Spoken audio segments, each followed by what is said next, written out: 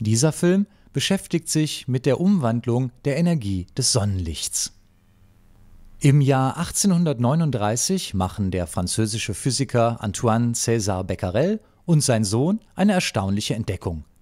Wenn man die blanke Oberfläche eines Metalls mit kurzwelligem Licht bestrahlt, werden negative Ladungen herausgelöst.